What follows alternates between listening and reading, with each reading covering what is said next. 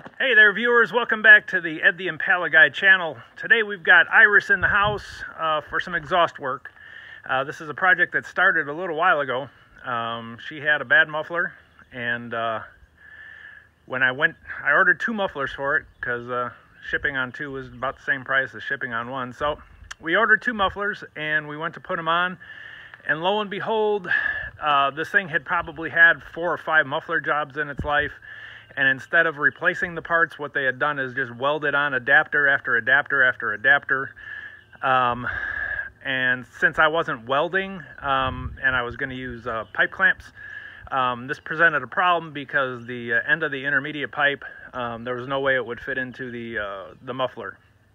So what I ended up doing just temporarily was grinding off and cutting off all of the previous adapters and getting down to almost um, almost the, uh, the, the stock pipe and the stock length so I could slip it into the muffler and clamp it down. Unfortunately, uh, a little bit of slip of the grinder made it kind of thin in one spot and, and has since broken through and there's a giant exhaust leak, which was okay because I was planning on replacing the intermediate pipe anyhow. Um, so basically, uh, today what we're going to do is we're going to be giving her a cat back exhaust and uh, one of the mufflers is already on. I'm going to have to take the muffler off, and it's just clamped on, so it'll, it'll be fine. And we'll see over here, we've got the rest of the system here. This is all by Walker. Uh, we've got uh, the passenger side muffler, the driver side muffler I'll pull off from under the car. Uh, we have the intermediate pipe and the resonator. And basically that's everything from the catalytic, catalytic converter back. Um, and the reason for this is that everything under here is welded, and without a welder and the uh, out the ability to um, you know cut things off and weld them back, you know the, these basically I had had to make it a slip joint so I could use clamps. Um, and the the farthest or the nearest thing that had bolts on it was uh, the end of the resonator where it meets up with the catalytic converter pipe which is actually okay because it's all kind of rusty under there and it, and really realistically these aren't that expensive um, I think the uh, the resonator was $39. The intermediate pipe was $52.55 with free shipping from AutoZone. Um, the resonator came from Rock Auto. Um, the mufflers came from Rock Auto, and the uh, the intermediate pipe Rock Auto wanted $145 to ship it.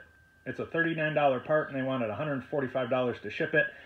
Whereas on AutoZone, it's the same Walker pipe, same part number, and they wanted um, free shipping, uh, free actually free next day shipping to your house. So I ordered it up off the AutoZone website. It was uh, 52.55. I got a $10 off coupon for using Honey, uh, which is a plugin for your um, Firefox browser.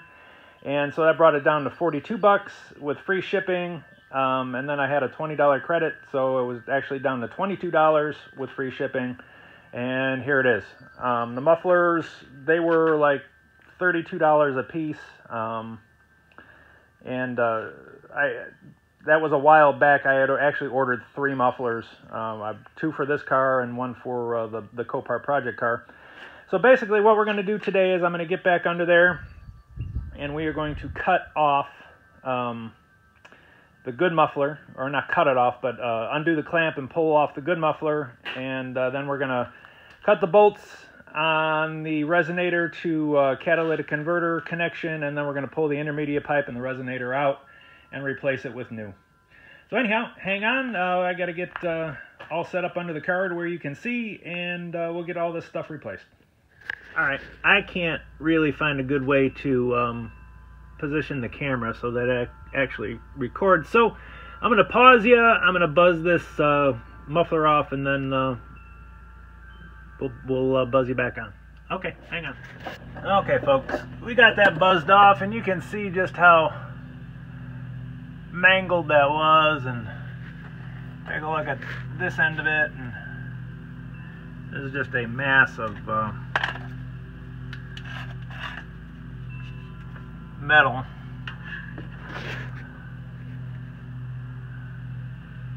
You can see it's all buggered up there and you can see underneath here where it was leaking. So, anyhow, we'll solve that whole problem um, with the new parts. Okay, folks, here's an update. We've got everything successfully disconnected. You can see the uh, resonator and the intermediate pipe and everything else is laying on the floor. Um, one interesting thing I did note is that this old resonator has studs, um, which was kind of interesting because everything that I've seen on the internet as far as ordering replacement parts for these um, doesn't show studs in this at all. So I, that's okay because the old one does, or the new one doesn't have studs. The um, the flange on the uh, catalytic converter doesn't have uh, studs, so we can just bolt her up with some stainless steel hardware and um, and be done with it. Uh, the, the really good news is I didn't have to cut these off. Uh, I actually got some sockets on them and used my uh, Kobalt 24 volt cordless impact Kobalt, not a sponsor, but man, it does a job. That's for darn sure. Uh, the one side, a 14 millimeter fit on. The other side was so corroded, I beat a 12 millimeter on there and just let her rip, and uh, off she came. I had to use a, uh, a swivel on it as well, and uh, the socket flew off the swivel, and the, the socket went somewhere, and it, it, took me a minute to find it. But anyhow, uh, we're going to drag the rest of this piping out of here, and um, we're going to start uh, bringing the new stuff in. We will um, kind of put it on there loosely with some clamps and uh, just so that it doesn't fall apart. But leave it uh, leave it uh, loose enough that we can adjust it and uh, get the hangers uh, all mounted and get everything up and straight. And there she is. We got her all tight in the factory specs. We got the hangers all back. Um, like I said, I, I did this with uh, pipe clamps instead of welding. Um, at some point, if I if I pick up a welder, I may actually come back and weld this. I don't know. We'll see how it goes. But it, we should be okay. You can see down there. And let me go the other way and we'll get the muffler end of it. And then here we are in the back. There's the uh, driver's side muffler, which we had put on here before. And then uh, the passenger side muffler, which has uh, never been installed. You can see we got the hangers. Um, hangers hanging, everything's tightened up. There's a another hanger right there, and then another one right there by that jack stand, and that's it. And then plus the two donut hangers right on the uh, um, right by the catalytic converter. And that's all there is to this exhaust system, um, other than if the only thing that would, you know, uh, the only other thing that would ever need to be replaced is that catalytic converter, and that uh, and the uh, the you know the exhaust manifolds or the crossover pipe. Um, that catalytic converter aftermarket is running about 250 bucks. Um, OEM is over 900. So uh, I don't think we'll ever be putting an OEM um, catalytic converter on this thing. So the difference between 250 and 900 is uh, quite extreme. So anyhow, folks, this is uh, this is uh, all put back together. It's time to start her up and uh, make sure there's no exhaust leaks. So hang on, I'll put you on a tripod and we'll get a cold start.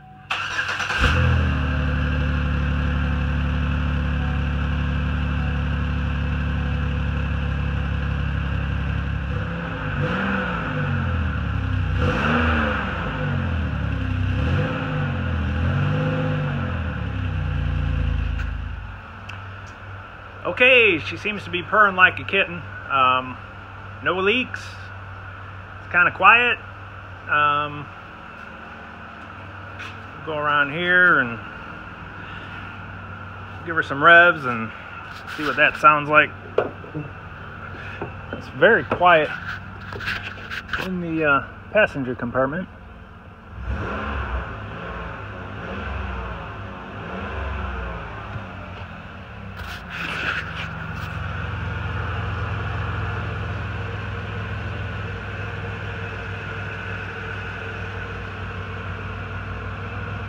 right, nothing left now but to um, get her down off the jack stands and the blocks here and uh, take her for a test drive. Okay, here we go. We're going to take her for a little rip up and down the street, maybe around the block, maybe to the corner and back. Don't know. But anyhow, as you can hear, or maybe don't hear, it is nice and quiet. Ah, purring like a kitten. Purring like a 3.9 liter kitten. Anyhow, here we go. Back on out of the garage here.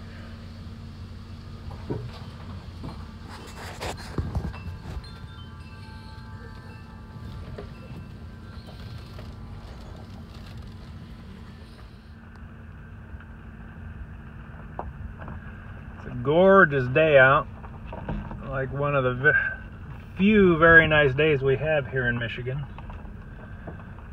So I think after I get done cleaning up with this and making some dinner, I will be mowing the lawn because as you can see, it needs it. Whoop. That was my garbage can. Oops. And paying attention to the camera and not paying attention to the garbage can.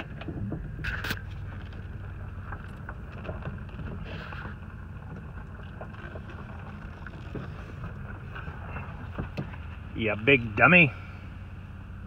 All right, here we go.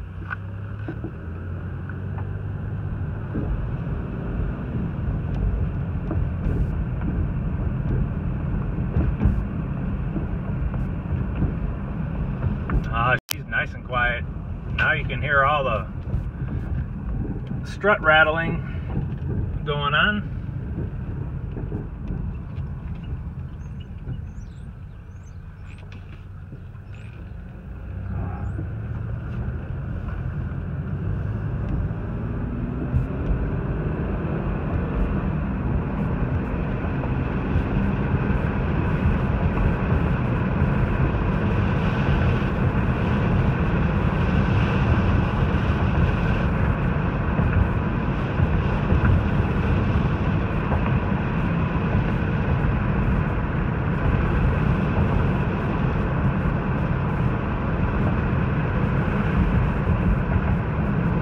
Man, what a gorgeous day.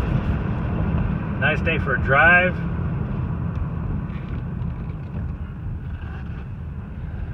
Yeah, we'll turn around here at the old party store.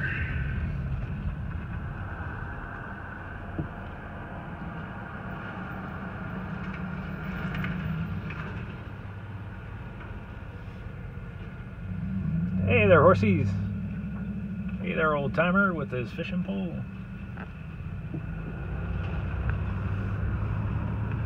Kind of funny how um, different regions have different um, names for things. Uh, growing up in Chicago, something like this uh, little corner market here um, would have been called a, a corner market, or if it just sold alcohol and beer um, only, it would have been called a liquor store. Um, here they call them party stores. Uh, that's one of the things I had to get used to when I moved or, moved up here was uh, they call the you know the the places that you know sell alcohol and uh, you know packaged alcohol uh, party stores. And what if you're you know not partying? What if you're just drinking alone and in silence and and depression? What if it isn't a party? Who knows? But anyhow, I just thought I'd throw that in there. Um, you know, it's it's like you know soda and pop. Up here it's pop. Chicago it's pop. Anywhere south of the Mason-Dixon line it's soda. Or if you're in Georgia it's Coke. What kind of Coke do you want? Well, how about just Coke? What kind of Coke, honey? Um, regular Coke? Oh, you want the Coca-Cola? Yes, yes, ma'am. Um, and then there's bag and sack. Uh, up here it's bag. Put your groceries in a bag. Down south it's put your groceries in a sack. Um, there's a ton more. Uh, those are just the, the top three I can think of. But anyhow, um, you have any uh, uh, things that are, are, just pertinent to your area? Write them in the comments and uh, let me know because uh, it's always kind of fun. there's always uh, the local dialects and the local local names for things. But anyhow, looks like we have a successful muffler job. She's running quiet, so quiet I can hear those rear uh, springs, uh, struts rattling around, and um, that'll be the next major project. We're gonna go ahead and uh, we're gonna put a decent uh, set on this thing, and uh, realistically, the only ones I could find that fit 18-inch wheels were uh, KYBs from Rock Auto, and for the set of four. Um, will end up costing right around 525 bucks. So, but um, it definitely needs it because they're they're rattling around. The other project we have to do, which I was thinking about doing tonight, but um, but uh, I think we're going to put it off for another day. Is the uh, right front ABS uh, wiring harness uh, needs to be replaced? I'm going to grab the one off a crash. Um, it's only uh, it's less than a year old, uh, and really at the time it was uh, crashed. It was less, uh, probably about six months old. So I'm gonna grab that off a crash. I'm gonna put it on this car, and and we're gonna get rid of the um, the error messages for the erratic uh, speed sensor and the right front tire, which is really really common and typical with these. But that'll be another video. But so anyhow, that's about it for this video smash the like button if you're so inclined. Hit the dislike button if you didn't like it, and tell me what you didn't like down in the comments. Uh, if you're not a subscriber, please subscribe and uh, go ahead and smash that notification bell down there, and uh, you'll be uh, notified of any new content that I upload. Until then, y'all have a great day and be safe out there, and we'll catch you on the next one. Peace.